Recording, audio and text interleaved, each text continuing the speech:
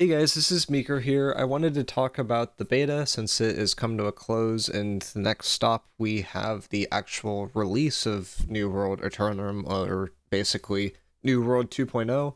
Uh, I wanted to talk about the honeymoon phase that we're kind of in and it seems like a lot of people are in. Uh, some common pitfalls with that, but also like what New World has done really, really well this time and uh, where I think it's kind of going. So, New World Aeternum, this is going to be coming out on October 15th. The beta just ended yesterday, which is the 15th, so we have one month of basically hype for AGS building for this beta, uh, or for this uh, release from the beta, and then we from there we get to see how it actually does. In terms of the actual numbers from the beta, uh, these were pulled off of stat tracking sites, and it seems like New World's beta went pretty well. The actual like total number of players that were playing at a certain periods of time was peaking over 30k. If you split this into EU and NA, you could see that EU and NA were both peaking at about 10k players. You have console on top of that, it's and it seems like there will be a, a good amount of players that are playing for this game when it actually comes out. I don't think everyone got into the beta or like that wanted to play uh, the actual game when it comes out is going to be on this beta. So I would, in considering the beta got to about 30k, I believe, near its peak, and that's like considering people from both regions, I think it's safe to say that there will be about 50 to 100k players playing when this new world uh Aeternum actually comes out, which is a very solid amount of players for a game that's been kind of given a second lifeline uh with the power of AGS and a, a bit of marketing, so to speak, in terms of kind of rehashing uh, the old. Uh, the beta did a very good job at kind of catering to that level 1 to level 30 experience. I think veterans and people that have played New World will argue that that level 1 to level 30 experience honestly is the best part about New World. When you get to like level 30 to level 65, it can get a bit grindy, but that entry point, everyone really likes it, and it seems like everyone was just having a good time at the end.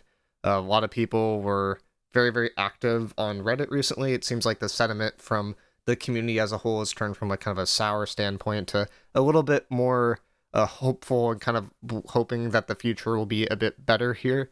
Uh, it seems like the game will likely pull in a good amount of players. I think that the question more so is how is that kind of mid to end game looking, and is that retention going to be there for that? And I wanted to talk a bit about that mid to end game uh, experience today, and then at, at the end of this, I'll, I'll kind of go over the the more pessimistic take that some people are having as well as just sort of a, a news roundup for all this. But it seems like people are very happy with like how it went. The leveling experience was better than it used to be. Uh, you have the ability to kind of choose a starting kit, which kind of gives you a little bit of an advantage in some aspects with the different archetypes that you can select from and then the actual like grinding for levels experience isn't as tedious as it was before with like really cheesy optimized routes with going to like town boards and mass spamming crafting and all this like kind of weird stuff that like just to avoid the leveling experience because it used to be so poor in the past now it seems like people are actually taking time to enjoy the game and kind of play it for what it was. So that's been the, the best part i think about this new world beta experience as well as like Fresh Start and New World just tend to mesh really, really well together because that early, early game is so good. Like, people really, really like the early game in this game. The question more so is like, okay, once we get through this beginning experience, like, where do we end up? And also the question is, how many hours do you end up when you get to that experience, right?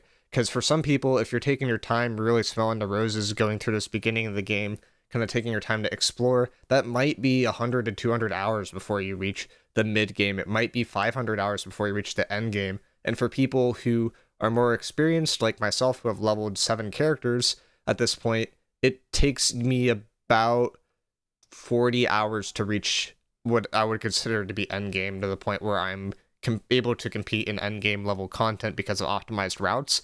So it really depends on like who you are and like uh, how you kind of choose to do your experience in New World. So to, to the question more so from, uh, I saw some people posting as like, hey, should I buy this game if I'm only worried about the campaign? If I to look at the campaign, I think the the question is like, how much do you want to smell the roses and really explore everything within the game? I think it's very easy to get 200 to 500 hours out of this game, and for that price point, it's a very good value.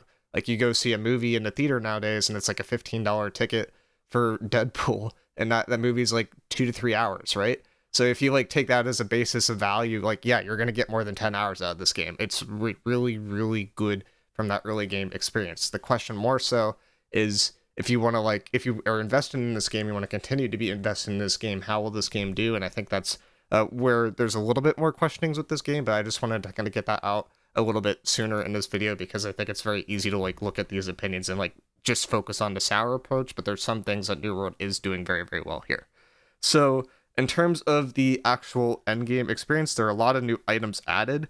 Uh, there the the common take in terms of like the I wouldn't say pessimist side because this is this is more of like a realist side in terms of perspectives. Is all these items that were added have magnify as the main stat line, except for ones that drop from these schematics at this endgame level. So 725 is that new gear score max. Most people are going to be wanting to use that gear score max. Although, as we discovered on Steam or on stream like two or three days ago, uh, it turns out lowering your gear score of certain things could actually boost your damage and reduce the damage that you receive, which is something that was a bug in the past and still apparently is a bug in the game, which is unfortunate. But taking that bug, which honestly is more of a mechanic at this time because AGS doesn't seem to want to patch it out, uh, aside, the actual uh, schematics that you can earn will allow you to get gear that does not have Magnify. The reason why Magnify is an issue is because Magnify can not be selected for each individual piece. You could put it towards one stat or you can put it as a split hybrid.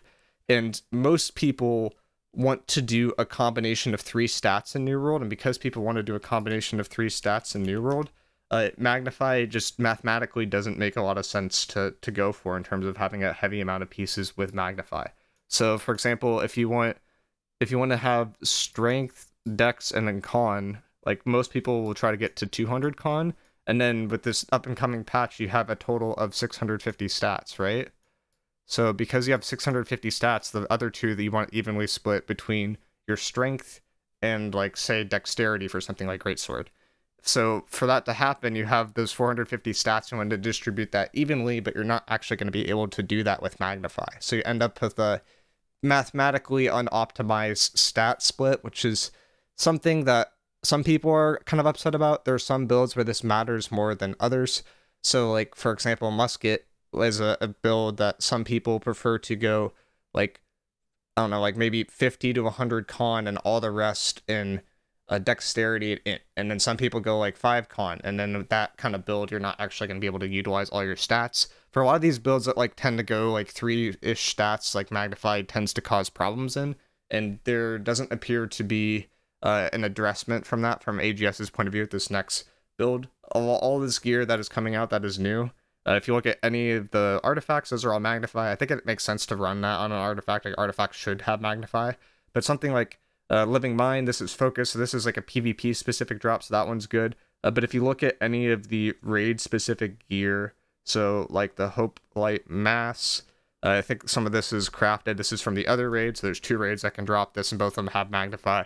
And that's where you start to get into these questions of like, hey, how could I actually get my stat split to work the way I probably want it to work? And I have an old calculator I can dig up for this that can kind of help people with that aspect. But uh, it seems like magnify might once again be an issue here. The other noteworthy thing is while this schematic does get around the issue, the around the issue, the raid's only doable for these drops once a week, and then this schematic has a one in two hundred chance of dropping, and then that thing that you craft is bind on pickup. So effectively, the distribution of these schematics will be heavily gated. There will likely be a large price tag on these from PvP sweats because they want to get their optimized split with the least amount of magnify possible, but the problem is is they can't distribute these items to other people in the community, which effectively uh, makes it so that crafting like in terms of armoring and crafting in terms of like weaponsmithing is not really a viable a trait from an endgame economy standpoint since all that gear is bind on pickup for the most part here. So that's something that I would be looking for AGS to address between the beta and the live game but from what we know and from what AGS has kind of had in the past, where you have uh, the game first come out in closed beta, and then there's the open beta, And then there's an NDA build that is already out for the final game of the release. And considering that it's not in that NDA build, according to sources that I have, uh, I would say this is unlikely to get fixed in the near future unless AGS or unless there's enough community outreach from people that have played the beta to AGS to fix this as soon as possible. So that's like one of those things where I think that could hamper the experience for those kind of players that are trying to do that raid.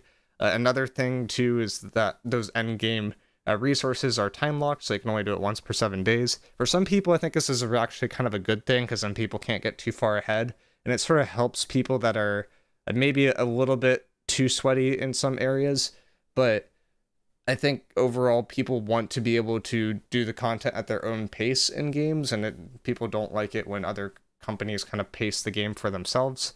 That being said, I from a AGS like if I was a project manager at AGS, this is 100% what I would do as well because AGS's end game content is relatively minimal this time, so they really need to stretch it out, and this is a effective way to stretch it out. Um, from a customer perspective, I think this is annoying because to me, this is just screaming, why did you guys focus on the beginning of the game for the last three years and not focus upon the medium or end game much at all? Uh, and like the things that they implemented, I don't think in reality will be much content, but I have more of a pessimistic standpoint on uh, the end game at this point because stuff has been soured for the long haul here. But again, going back to that it, depending on what kind of player you are, this game is still worth it for the amount of time that you'll put into it. It's just more of the will you enjoy it after a certain point, or will you be upset because it was so good only to be let down? That's like the mode where I'm in, uh, as as someone that's played this game for a few thousand hours over the span of a couple years. So it's like it's a very good game, and then you get to a point, and then it's like uh, this game could have been so so good, and it's still in theory could be so so good, but it's just it's been so long that I don't think it's realistic to really hit that potential. And we're likely to only hit that with Lord of the Rings, which we've seen some tweets from people uh, saying that they are leaving uh, New World now to focus on quote unquote other important things at AGS. So I assume that some of those people that were working on this are now moving over to that Lord of the Rings, which also uh, shows that there's likely less commitment to future developments once this build gets out. I wouldn't say it's like a full cash grab, but it's like it, feels cash grabby from a, a high level perspective on like from if you think about people leaving to focus on other things ags is kind of putting content out right once a year uh, trying to get some of that cash flow back in and then kind of uh, seeing where the dust settles from that perspective. I don't really blame ags for that.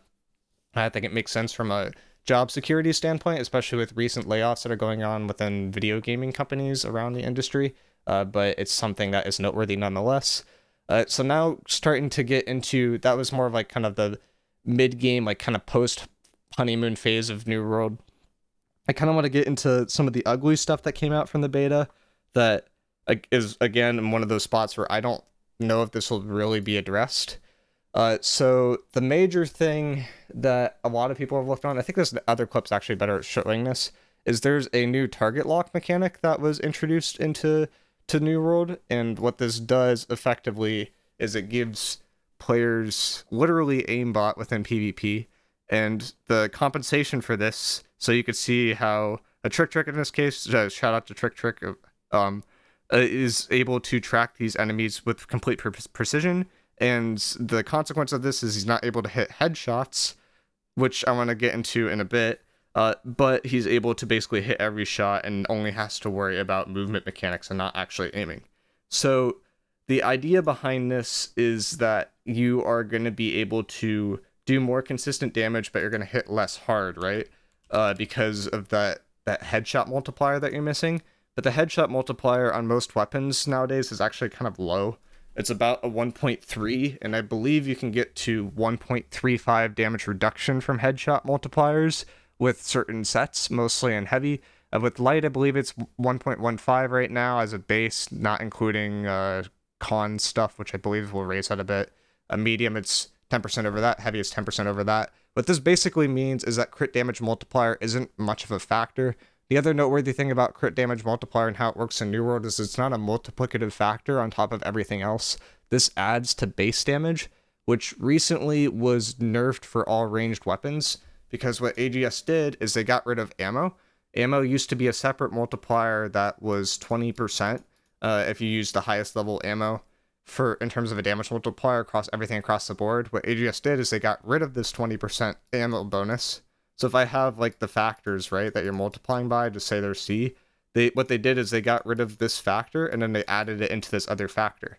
To people who are not familiar with math, this makes logical sense and this is something that like sounds like it should work how you would think it would work but for people who are more familiar with math, you're realizing that you're turning a multiplicative into an addition here. And what that basically means is 20% is not equal to 20%. And you're actually getting a damage nerf to musket, blunderbuss, any weapon that has uh, ammo involved at all at about 5% value. Uh, for in terms of all these factors multiplied together. So, I mean, it can be a little bit higher than that if base damage is really high, but you're really looking at a 5 to 10% damage nerf to all these of weapons that have ammo involved because of this change.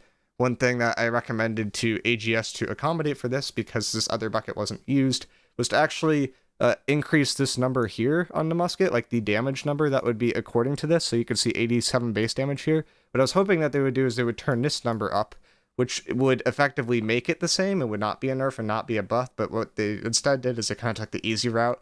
And even though that number says base damage, there's a difference between base damage and base damage because this game is wonderfully coded and it actually ends up being a nerf. Uh, with that aside, there the auto aim I think is kind of received poorly in terms of the community or the PvP community. I kind of understand why it exists, but like there's soft lock and then there's hard lock when it comes to games, and like when a PvP standpoint, hard lock is like almost always a no go uh, unless you're like a game that has auto aim and you're basically a hard, like a very casual MMO, which I guess is what New World's trying to become. Uh, this is kind of a no go to the point where there's a clip. Let's see if I could find it here. I think I have it up. Uh, where Trick Trick was able to win a duel with his headset over his eyes, so he literally can't see because he's just able to hit abilities and not really think about what he's doing. And there's another mechanic in here that I want to unveil in a clip that, oh, or in a second, that allows him to win this. Which I say mechanic, it could be a bug, but knowing AGS, this change was very likely done on purpose and is very uh, impactful. So for people who didn't really see it, I'll go through it again. This part right here shows the mechanic, and then you could see that this bow and arrow player, normally on the live version of the build, they'd be able to create distance and to be able to walk away from this sort of engagement with their dodge roll. And then from there, the SNS player would not be able to catch up as easily because most SNS players are not playing light, they're playing medium or heavy. But what AGS has done is they added a mechanic where if someone's stand bar, which is kind of hard to see here, your stand bar goes from like zero to roughly 100. If your stand bar is anywhere less than 100, so say it's like right here, and you get hit from a stagger effect, or a stun effect because stuns will stagger, you will not be able to dodge until your stand bar regens back to full.